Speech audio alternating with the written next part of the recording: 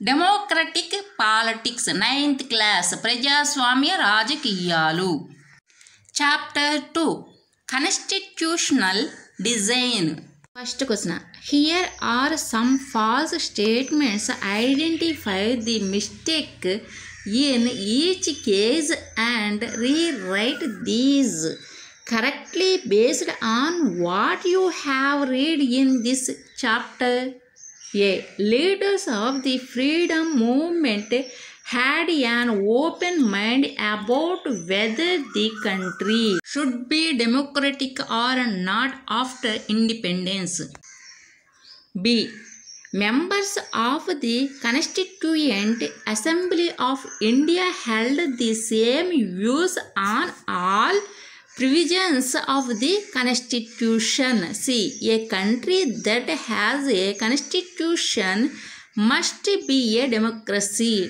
D. Constitution cannot be amended because it is the supreme law of a country. Answer a. Leaders of the freedom movement had a consensus that after independence india will be a democratic nation b. Members of the constituent assembly of india held the same views on the basic principles of the constitution. C. A country that is a democratic country must have a constitution.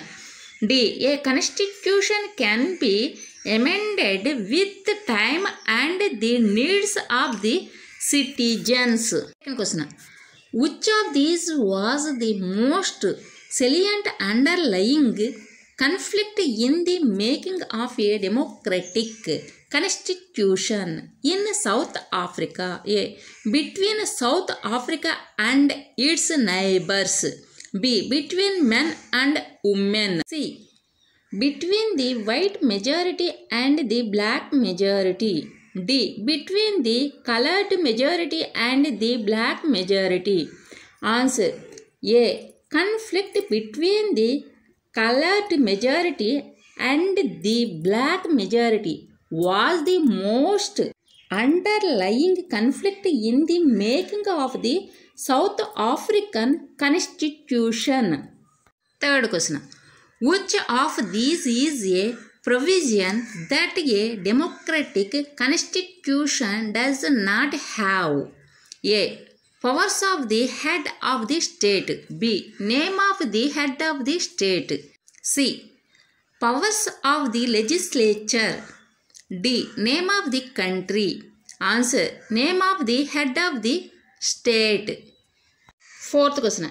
Match the following leaders with their roles in the making of the constitution. A. Motilal Nehru prepared a constitution for India in 1928. B. B.R. Ambedkar chairman of the drafting committee. C. Rajendra Prasad, President of the Constituent Assembly.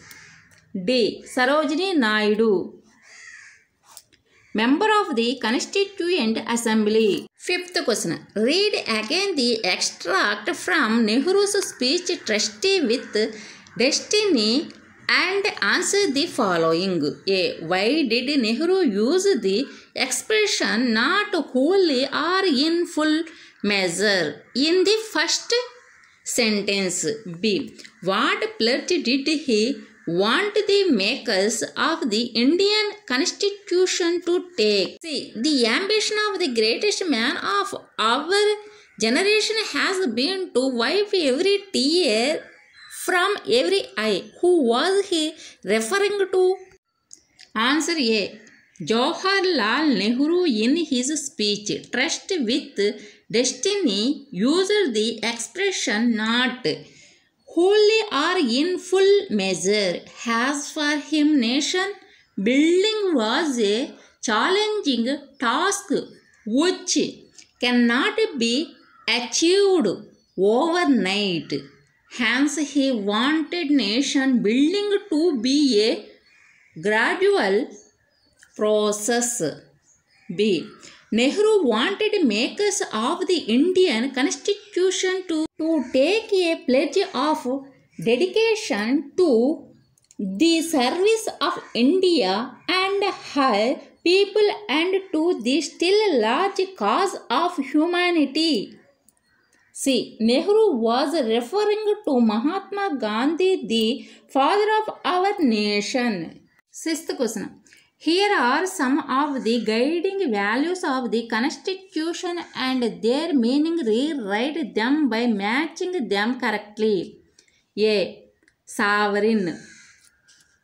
People have the supreme right to make decisions. B. Republic.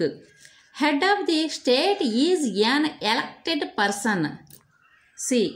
Fraternity.